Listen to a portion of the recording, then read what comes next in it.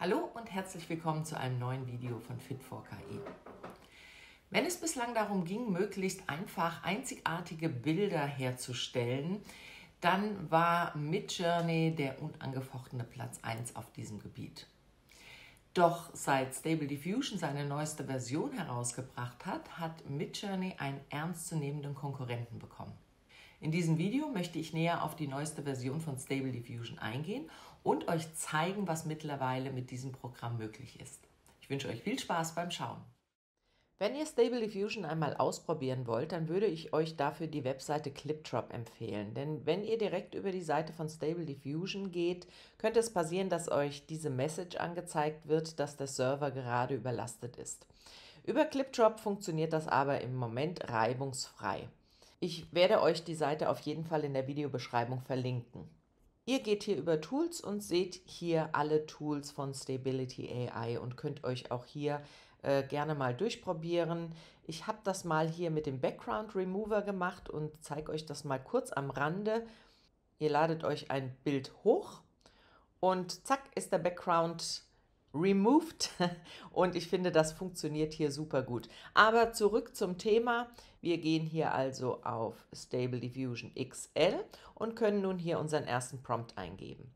Ich habe jetzt hier mal gewählt Ship in a Storm und ihr könntet hier über die Einstellungen euch noch verschiedene Stile aussuchen. Ich nehme mal Cinematic und die Aspect Ratio 16 zu 9 und ihr könntet hier beispielsweise auch Negativprompts eingeben für Dinge, die ihr nicht im Bild sehen wollt. Ich gehe jetzt aber hier mal auf Generate und wir schauen, was das Programm daraus macht. Das kann jetzt hier ein Weilchen dauern, da es sich ja auch um ein Open-Source-Programm handelt und somit sehr, sehr viele Benutzer darauf gleichzeitig zugreifen.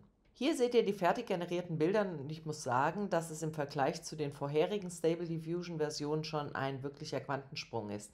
Also das wurde wirklich hervorragend umgesetzt und ähm, hier habt ihr auch weitere Varianten.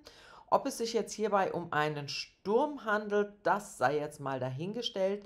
Aber im Großen und Ganzen ist das, wie gesagt, zu den kostenfreien Versionen und zu früheren Versionen von Stable Diffusion schon wirklich nicht schlecht.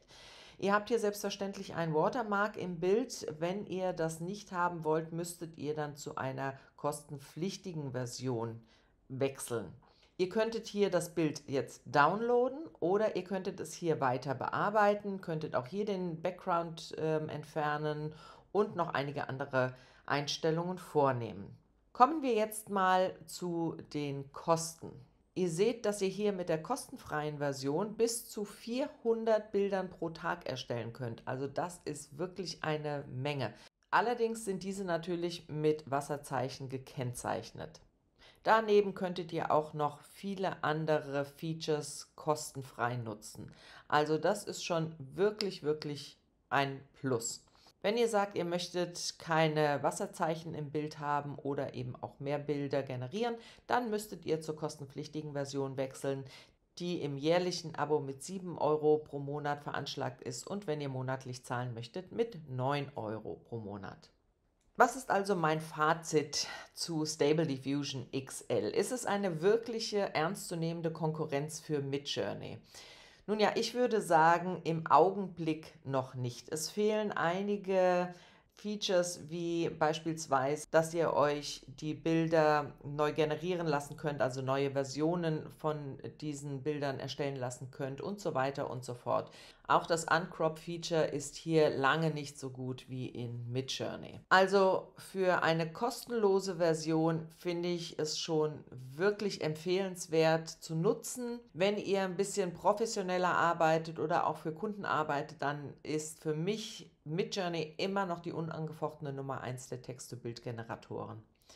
Aber Stable Diffusion holt auf und wir können gespannt sein, was es in der nächsten Zeit noch zu bieten hat. Ich gehe davon aus, dass auch noch einige sehr, sehr gute Features dazukommen und dass immer weiter an der perfekteren Ausgabe der Bilder gearbeitet wird, selbstverständlich. Für diesen Moment kann ich euch Stable Diffusion aber definitiv als kostenfreie Alternative zu Midjourney empfehlen.